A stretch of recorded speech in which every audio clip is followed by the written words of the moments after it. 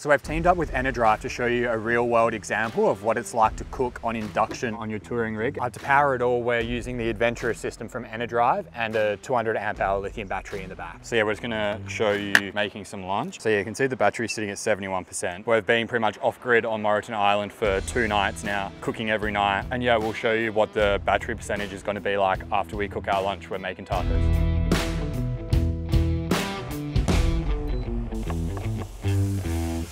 So yeah, you can see the mince is browning. We're on 68% and we're drawing 77, 76 amps. So yeah, one reason we love cooking on our induction over gas is there's just no heat fall off. So when it's super windy and you're at a beach like this, it heats up super quick. Unlike gas where you're normally annoyed because the wind keeps blowing out the flame or it's just blowing all the heat away.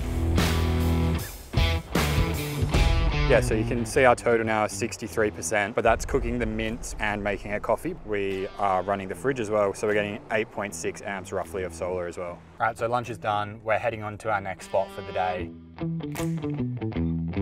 This is a Simarine app. You can see we're at 81%. It also shows you all your loads and stuff on the app. Just super handy, especially while you're driving. So as you would have just seen, that was about one hour of driving for 20% of the battery. We're running 200 amp hours of lithium in there. So most people, when they're designing their 12 volt system, all they're thinking about is the appliances they want to run and how big of a battery they need to get to run them. But it's just as important to account for your recovery rate and making sure you can top that battery back up nice and quickly. And that's really why we picked the Adventurer system for our 12 volt system. We have three different ways to charge. First solar, second the DC-DC, the alternator, and third we also have a shore power plug-in, just like a caravan or a camper trailer would have. If you have any questions about our 12 volt setup or about cooking on induction or anything like that, drop them below and then also hit follow.